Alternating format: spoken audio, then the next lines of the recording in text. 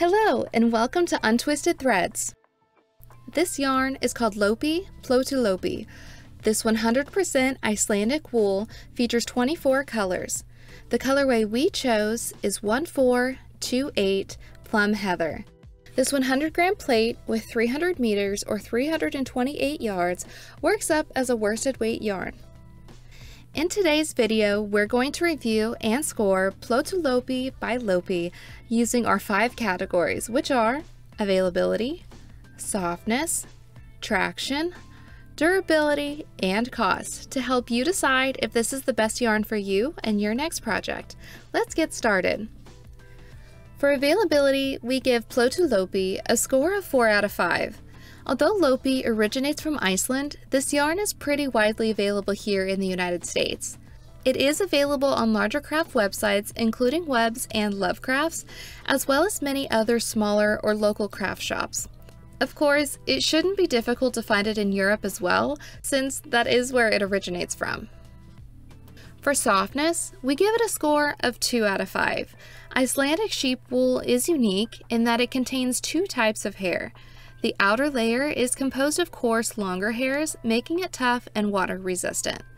The inner layer is composed of short hair that is fine and softer. If you've watched our animal fibers video, you may be familiar with what a micron count is. The micron count of a wool is basically a number on a softness scale. The lower the number, the softer the fiber will be.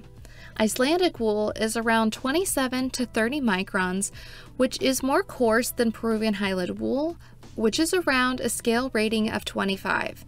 So, in terms of softness, this wool unfortunately was too rustic for me to enjoy due to my sensitive skin. Although my swatch didn't noticeably soften after blocking, the fibers will relax and soften some the longer you soak your garment and wash it with wool soap. In terms of warmth, Icelandic wool is considered one of the warmest and most insulating types of wool. Remember how I mentioned its wool was double layered? That quality of their fibers provide extra insulation and warmth. For traction, we give it a score of 1.5 out of 5. This yarn is considered a single ply or unspun yarn.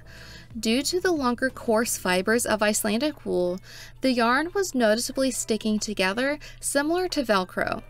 If you recall from our review on Léttlopi, that yarn was spun a little bit tighter than this yarn, and I had a really rough time working with it.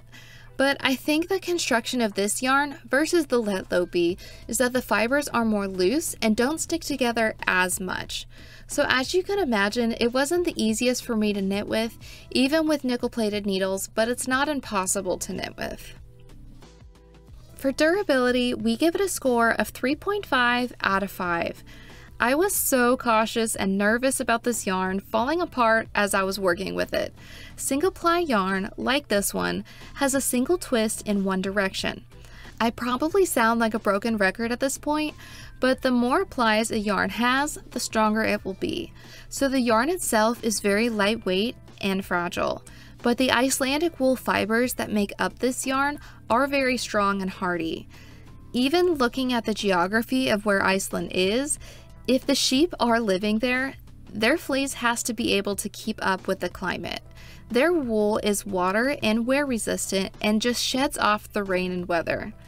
As a side note, there is a natural break about twice a year that is recommended to shear the sheep's coat to help them remove their old coat before the new coat grows in. So don't be alarmed, the sheep aren't going cold.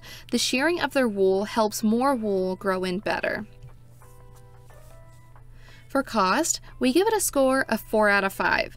For being a 100 gram plate, you can expect to pay $12 US per plate meaning a size medium sweater would cost approximately $40 US. Of course, if you live in Europe, this cost is more inexpensive, making this a great budget-friendly yarn for the more advanced knitter. Overall, we give Lopi Plötulopi a score of 3 out of 5. If you're like me and are someone with sensitive skin, this probably isn't the best choice of yarn to knit with. But this yarn is very popular and common for knitwear for those living farther north in the colder climates. So once this yarn is gently knitted up, and if you wear a base layer underneath it, it will definitely keep you warm. Have you used Lopi Plötulopi yarn before? What yarn would you like for us to do a review on next? We would love to hear your thoughts and recommendations in the comments below. If you enjoyed our review, please give this video a like and subscribe to our channel and we'll see you next time.